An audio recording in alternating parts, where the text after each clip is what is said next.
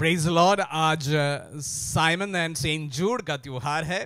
सर्वप्रथम आप सभी को आज के त्योहार के ढेर सारी शुभकामनाएँ। आज मनन के लिए हमारे लिए प्रभु का वचन यह है। संतलोकास का सुसमाचार अध्याय छह पद संज्ञा बारह से लेकर सोलह तक। उन दिनों ईसा प्रार्थना करने एक पहाड़ी पर चढ़े और वे रात भर ईश्वर की प्रार्थना में लीन रहे। दिन होने पर उन्होंने अपने शिष्यों को पास बुलाया और उनमें से बारह को चुनकर उनका नाम प्रेरित रखा। सीमोन, जिसे उन्होंने पेतरुस नाम दिया और उसके भाई अंद्रेयस को, याकूब और योहन को, फिलिपी और बेर्थलोमी को मती और थॉमस को, अल्फाई के पुत्र, याकूब और सीमन को, जो उत्साही कहलाता है। याकूब के पुत्र यूदस और यूदस इसकरियती जो विश्वास विश्वासघाती निकला। इसमें प्यारे भाई और बहनों, आज सेंट जूड का त्योहार है, साइमन का त्योहार है। लेकिन उससे बढ़कर, आज हमारे वचनों में जो प्रेरितों का नाम हमारे सामने दिया गया है, उससे रिलेटेड एक दो बात मैं आप सबों के साथ में साझा करना चाहूँगा। प्रभु, अपने जीवन के सबसे महत्वपूर्ण चीज़ों के पहले प्रार्थना करते हैं। और वो भी काफ़ी देर तक प्रार्थना करते हैं। यहाँ पर भी हम देख रहे हैं कि प्रभु, अपने शिष्यों को चुनने के पहले प्रार्थना में समय बिताते हैं। और उसके बाद वे बारह शिष्यों को बुलाकर, चुनकर और उन्हें प्रेरित नाम रखते हैं अपोसल्स प्यारे भाई और बहनों ये बारह जो लिस्ट है, इनमें एक के साथ में भी कुछ अच्छा क्वालिफिकेशन हम नहीं जोड़ सकते हैं। थोड़े बहुत हो सकते हैं, लेकिन मोटा, मोटे तौर पर अगर बताया जाए, कोई ऐसे अच्छे क्वालिफिकेशन के साथ में हम नहीं जोड़ सकते हैं। इस बात को थोड़ा और विस्तृत करना चाहूँगा। कि प्रभु अपने शिष्यों को चुनते समय वो किस प्रकार का व्यक्ति है या किस प्रकार कार्य करेगा, इसकी तमाम जानकारी उनके पास में था।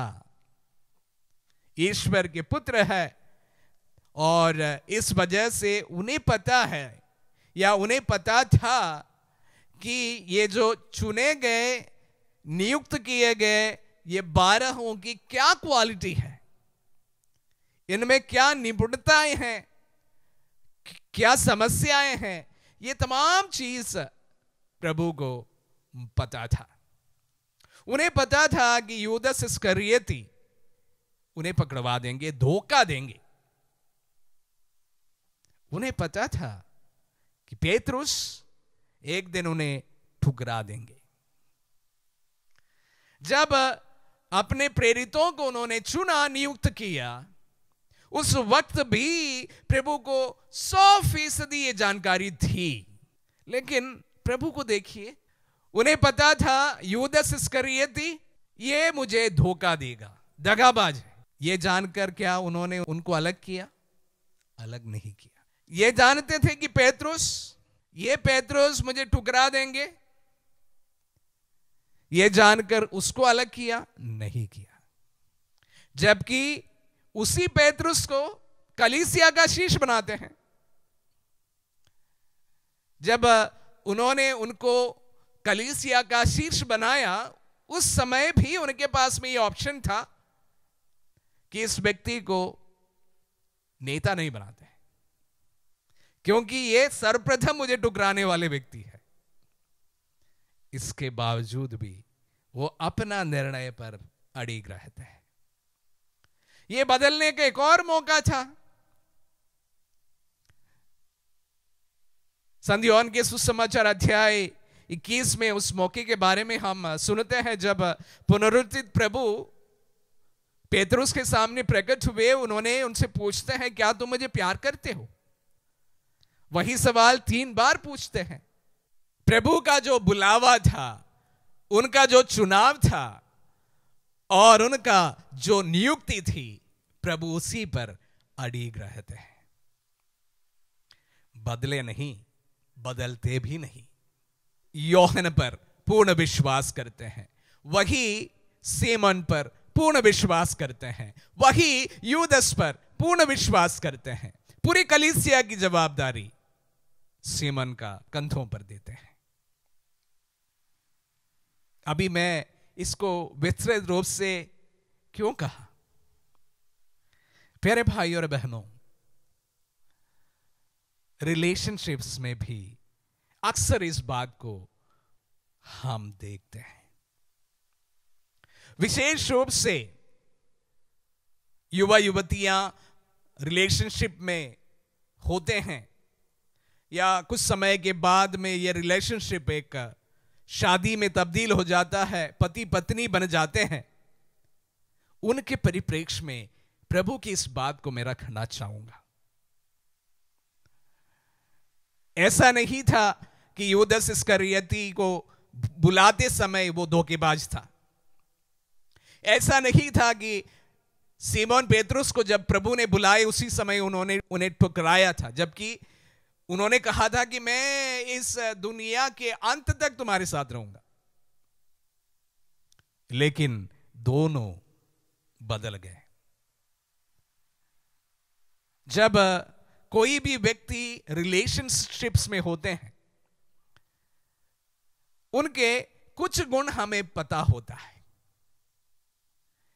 जबकि आप उनके साथ में जीवन जीना शुरू करते हैं उनके दूसरे गुण भी हमें पता होता है।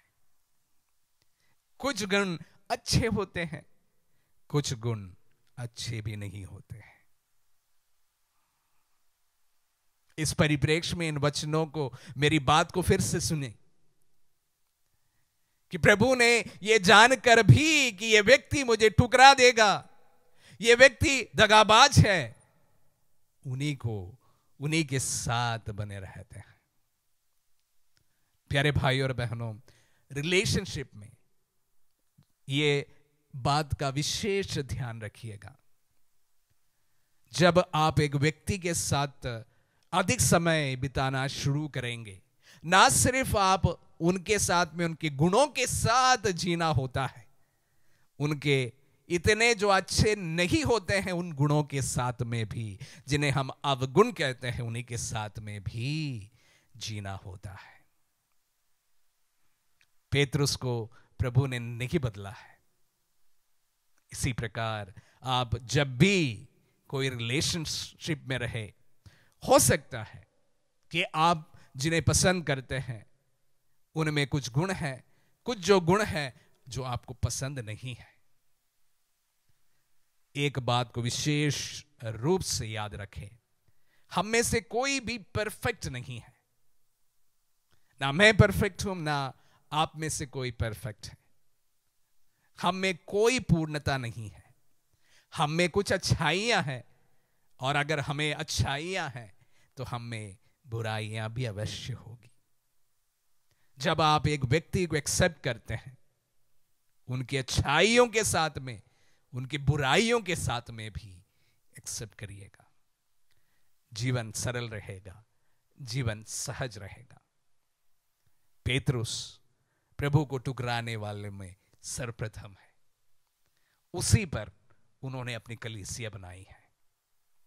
अगर आपके परिवार का निर्माण आपको करना है, आपके लिए प्रभु ने जिन्हें चुना है, उनके गुण, अवगुण सबके साथ एक्सेप्ट करने की कोशिश कीजिएगा।